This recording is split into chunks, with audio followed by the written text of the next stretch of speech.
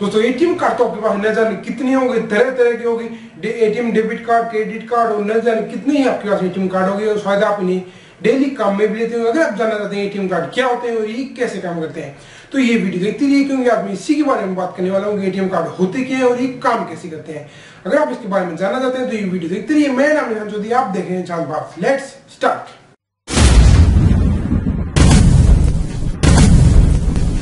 दोस्तों ATM card तो आप डेली काम में लेते होंगे।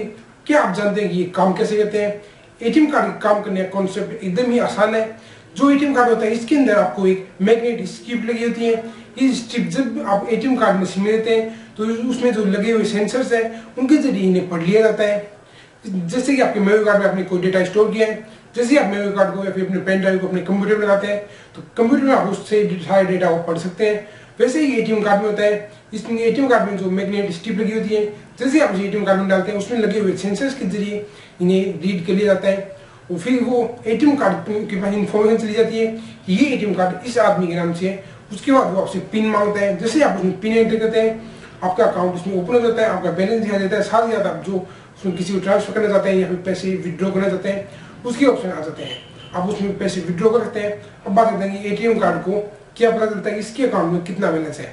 मान लो आपके किसी बैंक में अकाउंट है, उसी बैंक का आपके एटीएम कार्ड है तो आप उस बैंक की इंफॉर्मेशन एटीएम कार्ड के साथ शेयर हो जाती है उसी वक्त, जब एटीएम कार्ड उसके अंदर एंटर करते हैं कि इसके अकाउंट में इतना बैलेंस है, इसी, इतनी लिमिट है, इसको इतना विड्रॉ किया जा सकते हैं। अब उसके अंदर एटीएम कार्ड डालने के बाद अपना अमाउंट भरकर पेमेंट ले सकते हैं।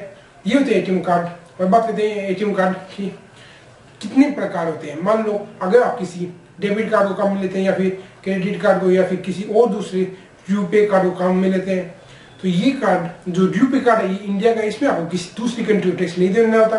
मगर जो डेबिट कार्ड फिर या कोई और दूसरा मास्टर कार्ड है, इन कार्ड में आप अगर आप ट्रांजेक्शन करते हैं किसी, जहाँ पर इसका जो सर्वर है, वहाँ पर इन्हें टैक्स देना होता है।